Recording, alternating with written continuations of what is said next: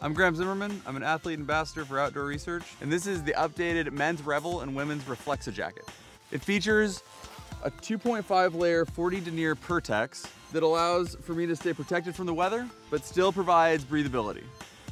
It has a motion mirroring fabric, which allows for great flexibility while hiking or scrambling. It's got a hip to bicep vent that allows for fantastic ventilation even with a backpack on. I think this is a perfect piece for having in your pack when the weather might be bad and you're out hiking or scrambling.